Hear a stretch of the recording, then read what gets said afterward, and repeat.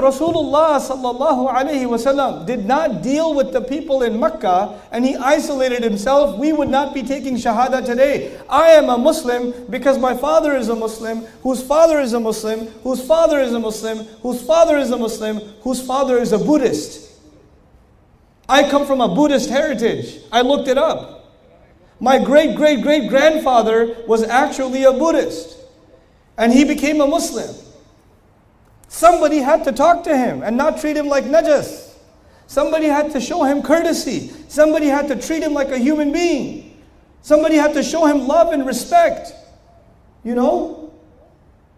I was in the elevator in the hotel over here, and the guy's name was, uh, God, what was his name? Hrithik. That was his name. It's hard to pronounce. Starts with an H. Hrithik. Obviously, not a Muslim name. You know what happens? You read the name and you say, okay, is a Muslim guy Muhammad? Assalamu alaikum, brother. How are you? Hindu name, eh? man. Two. No. Hey, Hrithik, how's it going? Good, sir. He used to work he works at the hotel. How, how long you been working? Four months, sir. How's the job? It's hard, sir. Man, it's tough, I know. And we just became friends. We just chatted. Astaghfirullah, I talked to a kafir. Relax, guys. The deen does not teach you to hate non Muslims.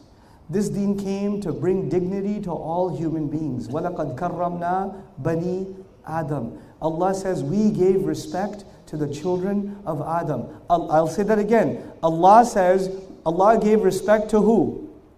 To who? Children of Adam. So every child of Adam alayhi salam has been given respect by who? By Allah. How do you not give them respect?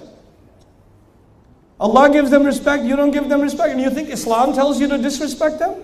Islam tells you to look at them as evil? You don't even understand the ayah when Allah talks about mushrikun being najas. Where is the ayah? Where does it occur? What surah does it occur in? What context does it occur in? And how does it apply? We don't want to know because we just want to look at the surface and not study deeply. We don't have the time to study deeply. This is all the opposite of wisdom.